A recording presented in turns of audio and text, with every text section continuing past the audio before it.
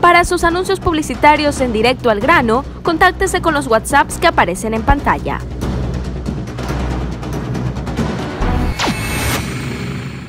Bueno, y no solamente en nuestro país la policía irrumpe en las llamadas fiestas clandestinas.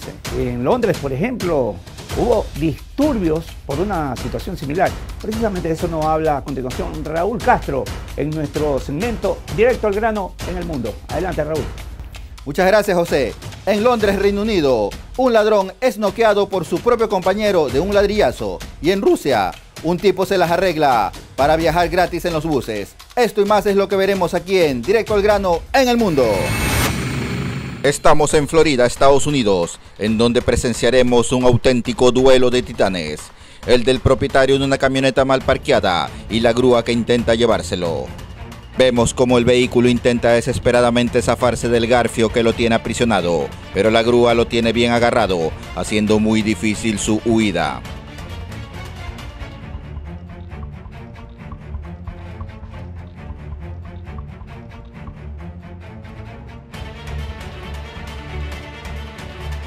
El conductor de la camioneta abre la puerta para echar un vistazo. Sabe que tiene muy pocas posibilidades de huir, pero el espíritu humano es indoblegable. Al final, el obstinado chofer no pudo salirse con la suya, pero se sabe que lo que sí consiguió fue el ser arrestado por la policía más adelante.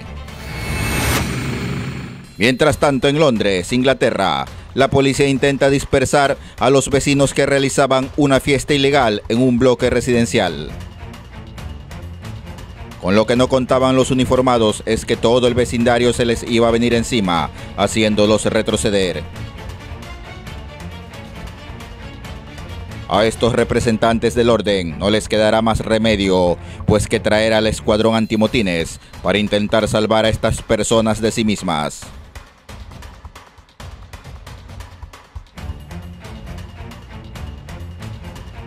Se supo más adelante que al menos siete uniformados resultaron heridos durante la revuelta.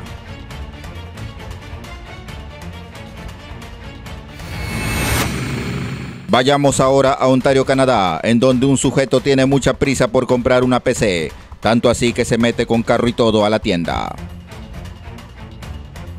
Suponemos que debió haber habido unos ofertones muy buenos, como para que nuestro amigo haya olvidado salir del auto.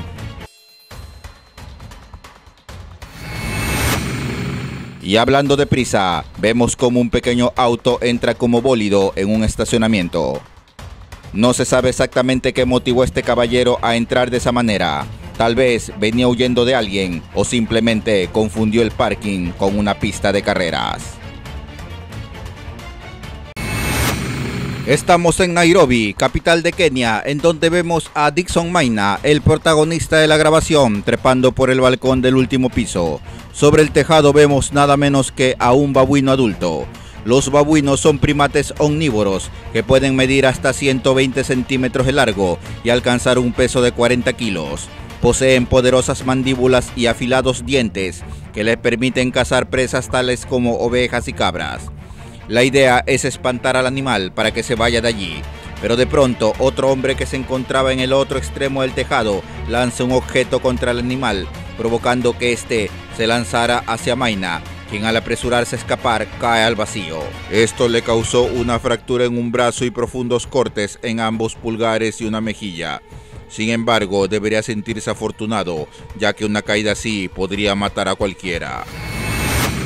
Por otro lado, en Nuevo México, Estados Unidos, un conductor sale de una llantera después de adquirir un neumático nuevo. Sin embargo, unas cuadras más allá, la llanta se la afloja y golpea a otro auto que venía en sentido contrario, haciendo volar la goma por los aires. Llama la atención que el conductor iba acompañado por sus hijos pequeños. Afortunadamente se trató de un accidente sin daños que lamentar.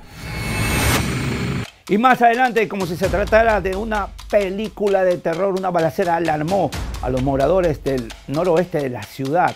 20 minutos, 20 minutos de bala entre un pillo y varios policías. Un avance de lo que les presentaremos.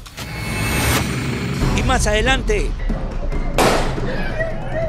Uy, adentro. Me mataron. Uy, ¿qué pasó? A punta de bala por 20 minutos enfrentó a los agentes y hasta trató de robarse este carro para darse a la fuga. Y el pillo lo apunta y, y le quita el carro para escapar, pues. Y el pillo como que se confunde y mete retro, el carro se queda aquí atravesado. Yo no sabía ni para dónde correr, yo corría para allá, yo quería como decir, pasar al otro patio, es una cosa terrible mío. Le doy gracias a Dios que no me pasó nada, si no, no estuviera contando hoy día.